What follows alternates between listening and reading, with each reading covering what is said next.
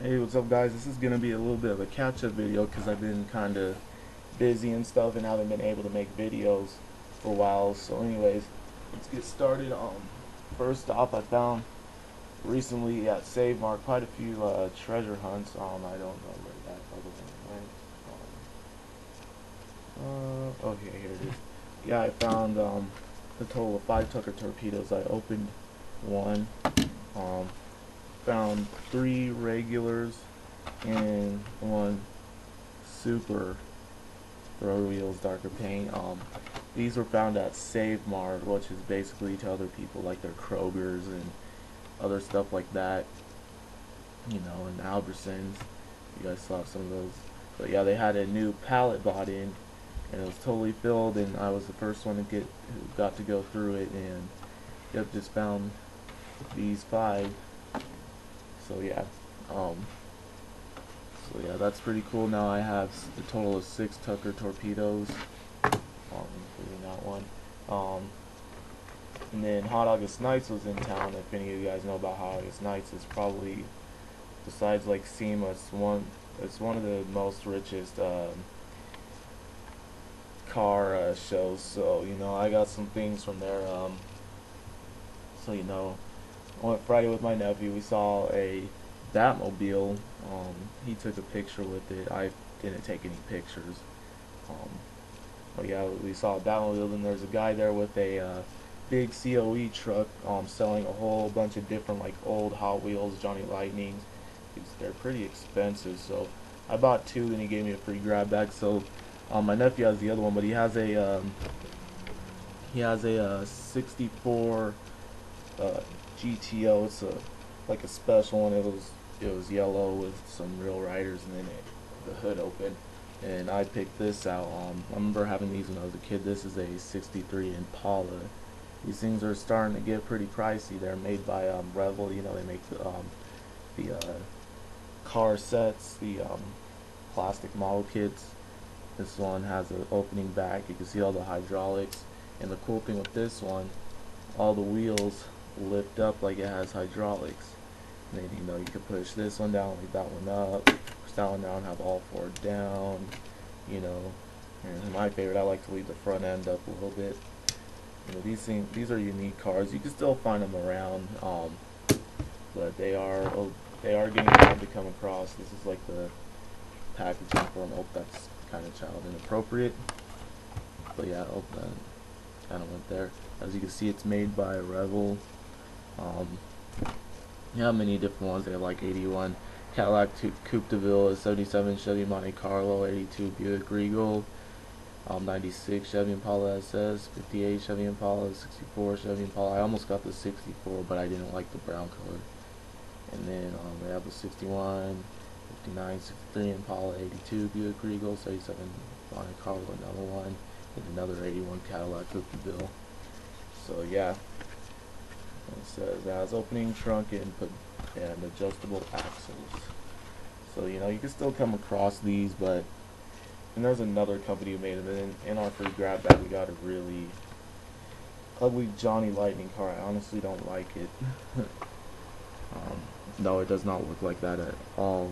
Um, it just has this really long nose. The the rims are hard to see, but they're like weird three spoke rims, and then the wheels are the axles are really short so they go in really far.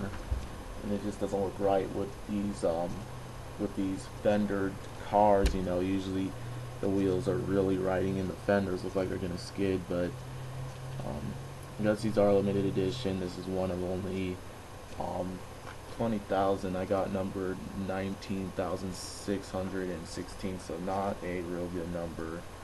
Honestly I really do not like this car. I'll probably just give it to my nephew, let him tear it up. You know, I don't know. I mean, the packaging is all nice, you know, but the car itself is not all that great to me. I mean, but whatever. It was a free car. Can't complain. Um, also, they had a uh, a um, Rat Fink stand. If you know who Rat Fink is, um, Ed Roth created him. Ed Roth also made a lot of cars like Beatnik Bandit, which is here in my town, um, sitting in a museum.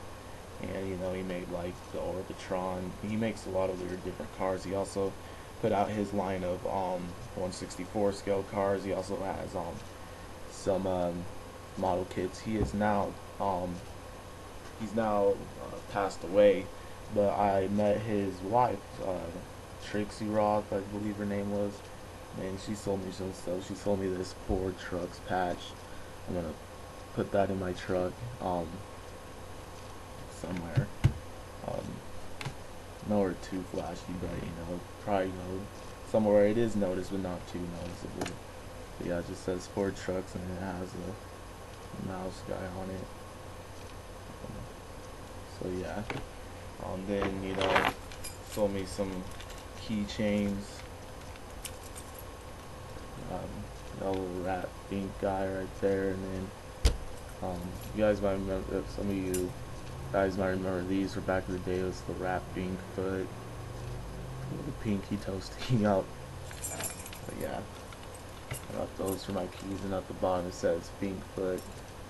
And she was nice enough to um, I asked her about some jackets her husband made that he custom airbrushed, And she says um, she has a guy who does custom airbrushing, and she'll have a jacket, one kind jacket custom made just for me. So that was real nice, you know, of her to do that. And it was pretty cool meeting her. They also had um, a couple of the Storage Wars people there. They had um, short. I don't know. I don't really follow with that show, but they had the short bald guy and the dirty blonde haired girl. You know, his girlfriend or his wife or whatever.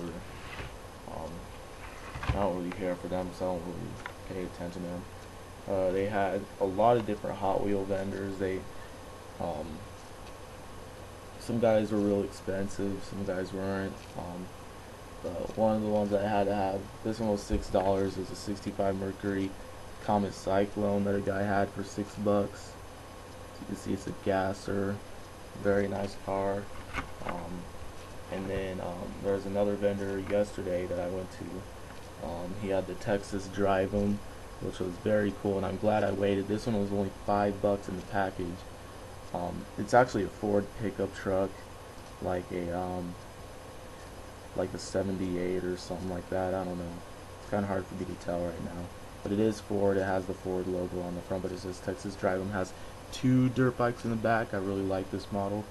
I almost got a second one. They also had a um, orange one, but he says he he can get them again. So I'll just wait till next year, and I'll pick up another two and give one to my girlfriend because she loves Ford trucks and dirt bikes in the back.